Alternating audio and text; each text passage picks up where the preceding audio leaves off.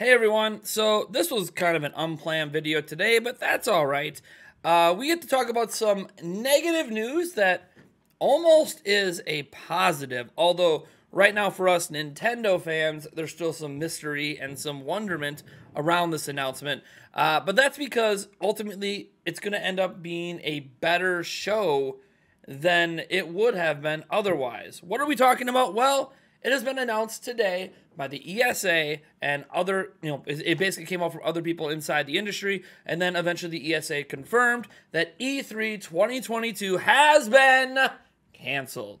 Um, that means the digital event, they did cancel the physical event earlier. Now the digital event is canceled as well. And you might go, but Nate, how is this a good news? How is anything positive coming out of canceling one of the longest ongoing events in video game history? And I have some news for you on that uh, and why we should actually be more excited now that this is canceled. And yes, my summer E3 extravaganza show is still happening. It just obviously won't use E3 branding. We'll talk about that in a moment after I remind you that, hey, if this is the first time that you've ever seen one of my videos, I would appreciate if you would subscribe to the channel. This also happens to be the last day you can enter one of our giveaways. Uh, you have to be subscribed to win. We are giving away an Xbox Series X, a PlayStation 5, or a Switch OLED. You just have to head down to the pin comment uh, or, or the description and click on that gleam.io link. I wish everyone luck. We'll be announcing it tomorrow night on a live stream who wins, although you don't have to be at that stream, you know, in person to win or anything. Now, let's get into the actual news by first showing you the original report that came from IGN. So, uh, IGN says E3 2022 digital and physical has officially been canceled. The ESA has confirmed the cancellation. After previously canceling its in person E3 2022 event, the ESA has now informed its partners that there will be no digital event equivalent this year either, meaning E3 2022 has been fully canceled. The news broke via a tweet from Razer PR lead Will Powers, who said that an email had been sent out announcing the cancellation of the digital E3 event. IGN has independently verified the contents of the email as well. The ESA had initially planned for an in person E3 event this year after having no event in 2020 due to COVID 19 and a digital one only in 2021. However, this was canceled in January, with the ESA at the time unable to make a public statement on whether or not there would be a digital equivalent.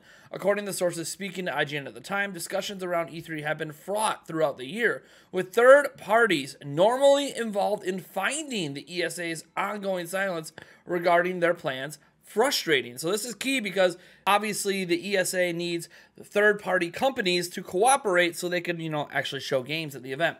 Sources connected to the event tell IGN that discussions about a possible digital event equivalent have been ongoing ever since. So again, we talked about how there was email sent out by the ESA, you know, about a month or so ago where they were reaching out to people. So they were trying to make this event happen, but obviously did not you know get the feedback they hoped. But without strong momentum to drive them instead the esa seems to be making plans to regroup for a larger comeback in 2023 that's supposedly their plans. Um, good luck because what's happening instead is uh, might make if they can't do an in-person event um, it, it might make e3 gone. We'll talk about that.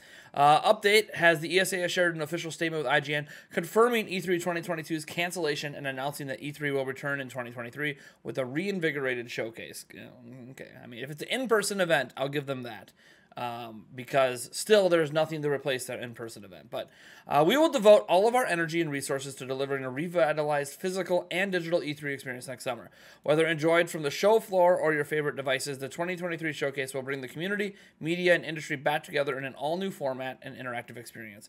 We look forward to presenting E3 to fans around the world and live from Los Angeles in 2023. The ESA adds that the 2022 showcase has been canceled so the organization can focus its resources on the 2023 show.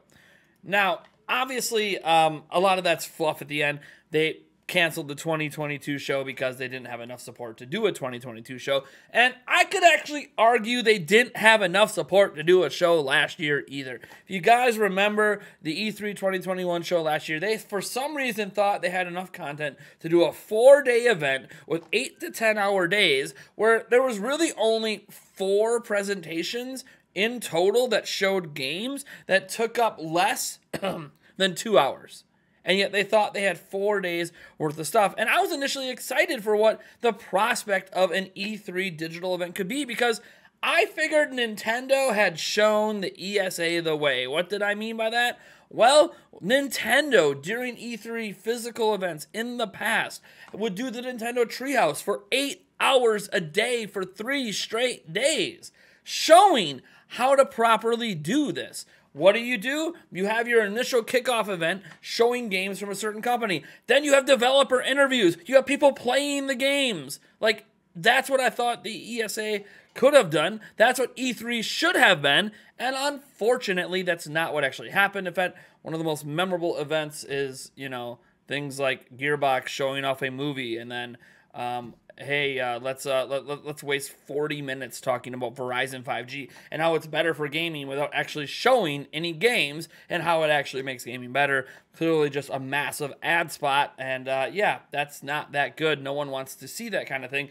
And obviously, at the end, even though Microsoft I thought did a really good job, I thought Nintendo killed it it didn't really matter because the overall show taste left in my mouth was really poor to the point that I chucked a bottle and basically told the ESA to f off. Um, so whether you know, if some reason if they have an in-person event in 2023 and I can't get into the show, um, you know, I wouldn't blame the ESA because I did not have kind words for them last year because they put on what I still view to this day a shit show.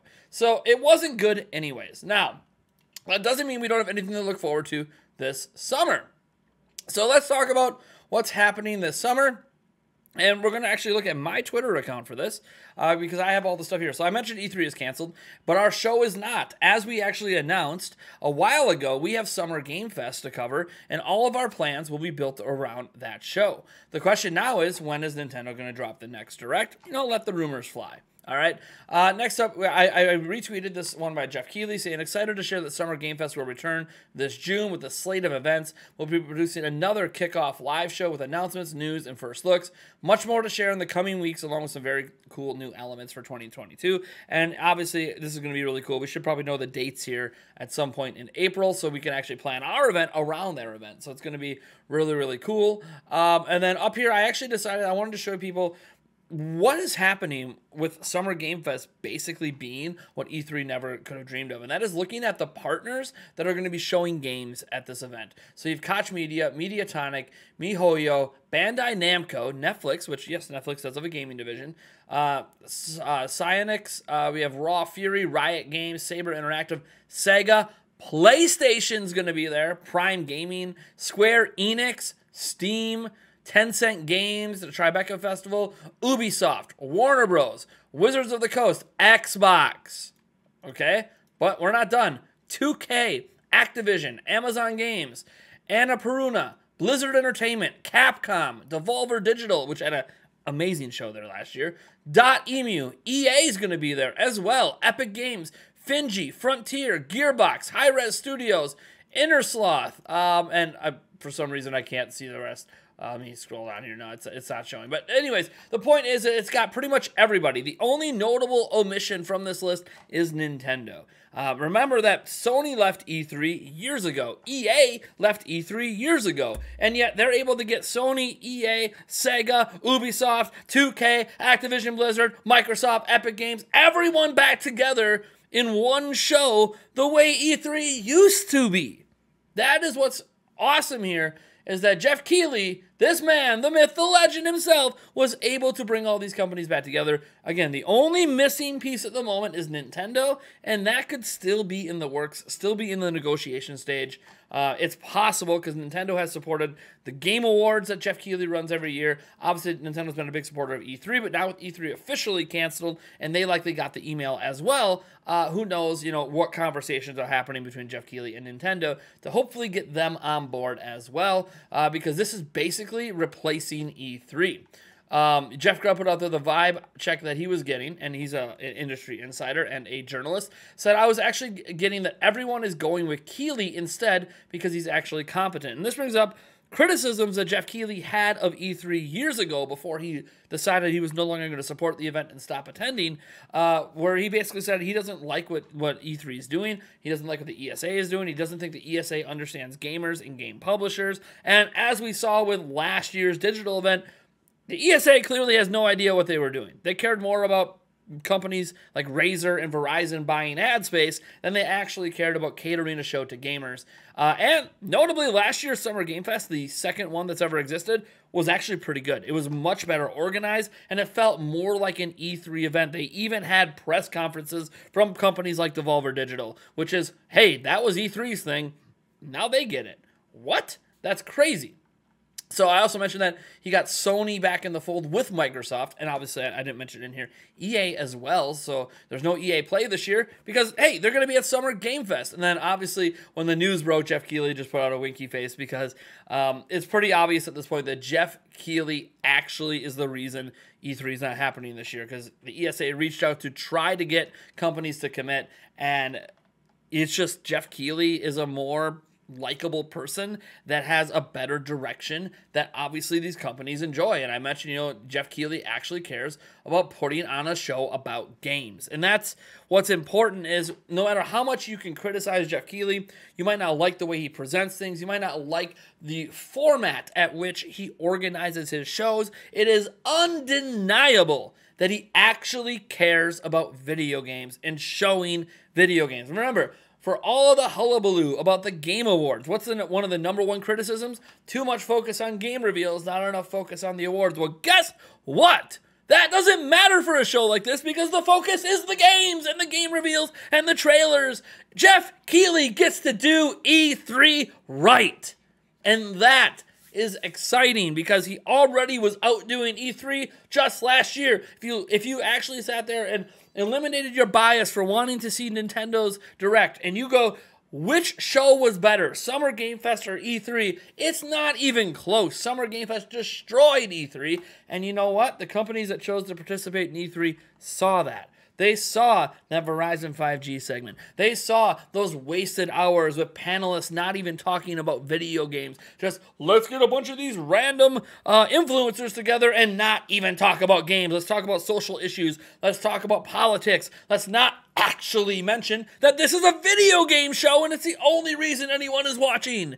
It was insane. And yet, Summer Game Fest was nothing but games the entire time. Heck, they had developer interviews, they had developers rocking gameplay. They were doing what the ESA should have been doing. So, sure, E3 might come back in 2023, and right now, Geoff Keighley doesn't have plans to replace the in person event that E3 was. And it's possible that Summer Game Fest becomes the new kickoff event for E3 in person. Maybe that would also require the ESA and Geoff Keighley to actually come together, which I think right now the ESA should basically be in um, in his DMs, in his inbox, making phone calls to Geoff Keighley and being like, "Hey, you were right this whole time. We're really, really sorry. Um, hey, how about next year you guys handle like all the press conferences and all the kickoff into the live event, and then you tell us what we need to do at our live event to actually make it better. Let's work together. Let's not separate the industry. Of course, that would also require the ESA to eat some of its own pride and admit that they don't know what they're doing and they need Geoff Keighley's help. Um, and again, Geoff Keighley would get to keep his show and just use his show as the kickoff for the E3 in person event, and it actually could be quite brilliant. Of course, I don't expect the ESA to actually do this. I expect the ESA to say, screw you. We are the ESRB. We are going to run our own show. We're back in person, baby. And that's what's going to matter the most. And honestly, if, if Geoff Keighley gets all the game announcements and all you have are demos, and then you don't let these companies work together with Geoff Keighley with the announcements and the demos, um, that's going to be a problem. So, yeah, we'll see what happens there. Um, I, I could, I, I basically am sort of predicting E3 being canceled next year as well. Not just because the pandemic might still be going on, even if it's not, doesn't really matter. I don't think the ESA has enough clout at the moment uh, to pull off an event without support from Geoff Keighley, who clearly these companies believe in more than them. So, um, except Nintendo. Of course, Nintendo still could be announced as a partner, still could join the fray. Nintendo does like to be there at bigger industry events like this, like the Game Awards, like E3 in the past. So even though Nintendo's not on that partner list yet, Nintendo might have already committed to E3, and now that E3's been canceled, Nintendo can obviously shift their plans. But um, yeah, this is going to be a really, really good event. I can't wait. Now, speaking of what we're doing, last year we did the E3 extravaganza. This year we're obviously making a hard shift to covering Summer Game Fest, which because Summer Game Fest was so good last year, we already were going to include Summer Game Fest. So all that really happened is instead of us having a week long event like was going to happen with e, with, with E3 and uh, the Game Awards going back to back. We actually get to focus on Summer Game Fest, and I'm re- really excited about that because Summer Game Fest is so much better. I expect Geoff Keighley to make it probably an extra day long. He's got so many more game companies partnering with him, probably lots more game showcases, more developer interviews, more gaming music. This is going to end up being a phenomenal stream. And what's really cool is Geoff Keighley likes working with content creators like me. He makes shows extremely streamer friendly. He has an entirely separate version that prevents copyright strikes because he cares about content creators and realizes the role we can play in helping push these events. So I'm honestly just really, really looking forward to what's going to happen and what this event is going to be. I am I'm so stoked um, that this is actually, you know what? You might view this as a negative. I actually think it's a positive. It is a negative in that this might be the end of the E3 era, and a lot of us have a lot of really fond E3 moments. E3 2006 will always forever stand out to me from that Twilight Princess announcement to the live crowd. Uh, and you guys all have your favorite E3 moments, I'm sure, as well. But hey, you know what? When it comes to just digital only events, I trust Geoff Keighley a hell of a lot more than I trust anything happening with the ESA. So uh, we're still going to do our live event built around that. Still have all of our giveaways. Still have our crazy competitions and the death wheel and everything in between. It's just now going to be built around what I feel is going to be a better event. And I'm probably not going to end the event by saying "f you, Geoff Keighley," because um, last year he made it all about the games. So if he just keeps making it all about the games, what the hell can I be disappointed in? Even if the games are games I'm not into doesn't really matter. At least the show's about video games, and that's what we're talking about. And he brought Sony, EA, and Microsoft all together. He gets Nintendo in the fold. I mean, come on, that's the trifecta of. I mean, Valve is there, so you got the Steam Deck there, and PC represented from Valve side. You have you know Microsoft there with, with the Xbox and Game Pass. You have obviously the PS Plus and PlayStation stuff there with Sony. You get Nintendo there, and it's time, baby. So, anyways, I am Nathaniel Rumble Jans from Nintendo Prime. Thank you so much for tuning in, and I'll catch you guys in the next video.